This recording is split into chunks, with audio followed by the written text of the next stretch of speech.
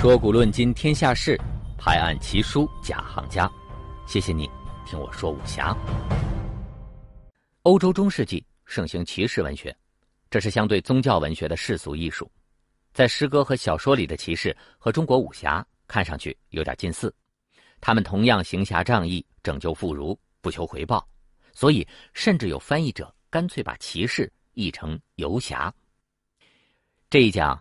我们就来说说骑士和武侠有没有可比性。这不只是一次文学形象上的对照，也是中西文化的比较。我们先来说历史，有骑士文学，当然先要有骑士。关于骑士的起源，西方学者有不同考证，最早可以追溯到八世纪的日耳曼骑兵，或者北方蛮族首领的军事仆从。骑士拥有坚强的盔甲、快速的机动性和强大的冲击力。在火药出现以前，是战场上最强大的军事单位。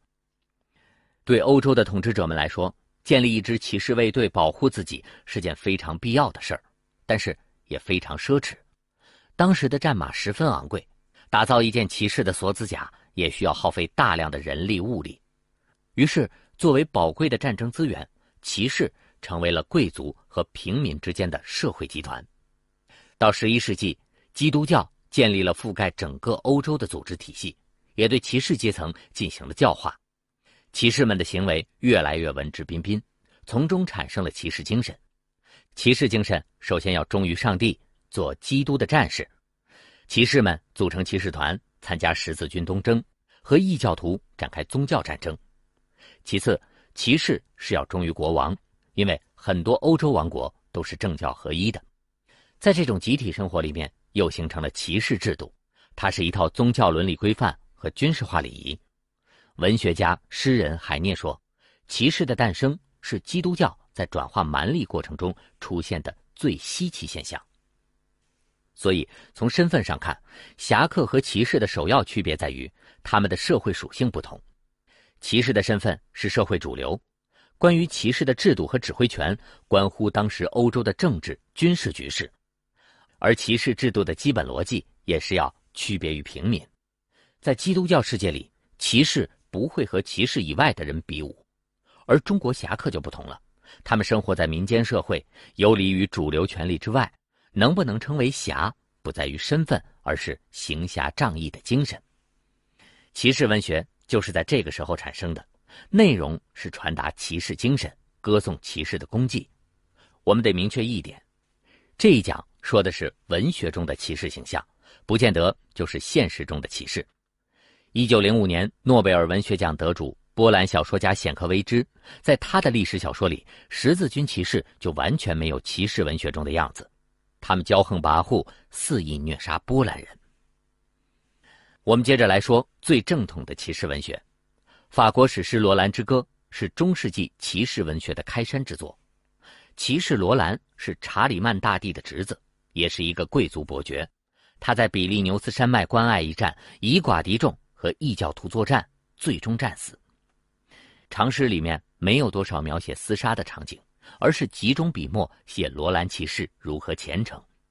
在战场上，他把垂死的战友带到主教面前，让主教为战友赎罪。对骑士罗兰的最高赞颂是：从来没有人比他更积极的服侍上帝。直到罗兰自己战死的时候。是转过身来面朝异教徒大军，以示要收回被对方占领的西班牙。他枕着号角和查理曼赐他的宝剑，再次向上帝祈祷，恳求上帝原谅他的罪过。我们今天觉得这些描写很夸张，但是诗歌里描述的精神状态在当时是有现实基础的。在中世纪，从贵族到平民几乎全部处于宗教迷狂状态。那时对一个人最可怕的惩罚，不是绞刑或砍头，而是教会宣布他的灵魂永世不能进入天堂。罗兰的形象是中世纪骑士们的楷模，骑士不怕死，是因为他们相信在宗教战争中阵亡，可以凭借着虔诚和荣誉升入天国。在《罗兰之歌》里面，详细的记录了当时黑暗降临罗兰的眼帘中。上帝立刻派来了天使和圣徒，接引他的灵魂升到了辉煌的天国。从这里，我们就能看出侠客和骑士除了身份之外的第二大区别，那就是他们的精神基底是不一样的。中国的侠客精神是完全的世俗化，侠客匡扶的正义是生活中的善恶，侠客维护的是非也是现实的秩序。在金庸的小说里，少不了和尚、道士，但我们最好把他们当作三教九流的职业来理解，这也是我们的文化底色。从孔子开始，儒家文化精英几乎都是含蓄的无神论者，而骑士文学就不同了。对十一世纪以后的骑士来说，封建义务要排在宗教义务之后，他们是教会和世俗之间的桥梁。他们成为骑士的誓言是：做教会的卫士，做寡妇和孤儿的保护人。你看，行侠仗义的行为也要以信仰的名义进行。宗教上的虔诚是骑士的内在精神。我们再来说一说外在言行。我估计你也不会有兴趣去读中世纪的骑士小说。如果你要想象一个那个时代的模范骑士，可以回忆一下《权力的游戏》里的女骑士布雷尼，她的原型就是中世纪骑士。另外，还有一个你肯定熟悉的形象，那就是堂吉诃德。我这不是在说反话，堂吉诃德虽然生不逢时，但他真的是严格恪守骑士精神和骑士制度。这也是为什么很多读者从这部小说里读出了悲剧感。海涅在少年的时候读完小说，在自己家的葡萄架底下痛哭了一夜。西语文学专家陈仲义老师说，作者塞万提斯真正批判的是当时西班牙庸俗的市民文化。其实，他也认为崇尚光荣奉献的骑士文化才是欧洲文化的正统。只不过他知道这套东西过时了。如果细读小说，你就会发现，堂吉诃德也不见得不知道现实是什么。只是他不愿意接受而已。在小说里面，只要不是讨论关于骑士的话题，他的谈吐就很高明，学问也很渊博，是一个博古通今的长者。所以，我们真的可以把他的故事和骑士文学辉煌时代的那些主角们一起讲述，这也算是对这位理想主义者的尊重。骑士文学的主角都有三大美德：第一大美德是基督徒的虔诚和谦恭，虔诚的快感。有点像减肥时饿得两眼发花，站在秤上，是一种痛苦中的极乐。骑士制度里面有很多类似苦行僧式的禁欲和自我折磨的内容，像有的骑士发誓冬天穿单衣，不睡床，还要定期戴上镣铐。对于这类事儿，堂吉诃德也乐在其中。没饭吃的时候，他说：“游侠骑士一个月不进水米是一种荣幸。”至于谦恭，也对应着一套高雅优美的言行规范。骑士的行动、坐卧、吃饭、说话有全套的规则，堂吉诃德的言行也向来彬彬有礼。骑士的第二大美德是忠诚勇敢。我们都知道，堂吉诃德大战过风车，当他把过路人当成了劫持贵妇人的强盗的时候，也是立刻拔剑就上去解救。第三大美德是坚持对一位贵族妇女的崇拜和纯洁爱情。也就是说，骑士既要是好战士、好信徒，也要是行为高尚的好情人。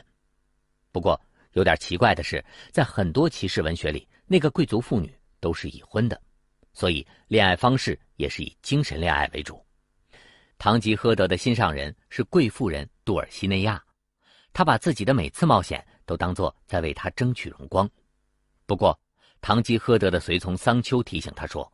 杜尔西内亚其实是个很丑的村姑，还长着胸毛呢。这个时候，堂吉诃德回答：“我只要当她是尊贵美丽的女子就行了。古代人歌颂的美人，也未必真的都是美人。所以说，真实到底是什么，他其实是很清楚的。在十八世纪以后，读者们不再将堂吉诃德看成简单的喜剧人物，而是发现了他坚守道德、令人尊敬的一面，是文学中的。”最后一个骑士。这提醒我们，骑士文学和武侠小说虽然从内到外都不一样，却有一个相近的作用，那就是他们都是世人浪漫情怀的寄托。在真实的欧洲历史上，到底有多少高尚纯洁的骑士，我们不得而知。但是，绚丽的骑士精神却是那个暗淡时代里的光明。根据文化研究，当代西方文化中的贵族范儿和绅士风度。那些举止和礼仪起源于中世纪在法国形成的骑士守则。在中国人的生活里，真的侠客其实也难得一见。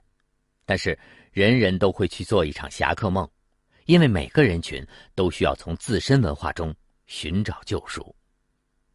骑士精神是欧洲中世纪结出的奇异果实。骑士文学和武侠小说不同，中国侠客捍卫的是现实法则，而西方骑士坚守的是宗教信仰。中国侠客远离权力，西方骑士则是社会主流。不过，从阅读体验来看，他们都有一种多情而动人的英雄主义。今天的很多现代礼仪来自西方的骑士风度，你觉得中国的侠客风度有什么能够被现代人借鉴的？欢迎在留言区。跟我分享。下一回，我们来对比中国的武侠小说和日本的武士小说。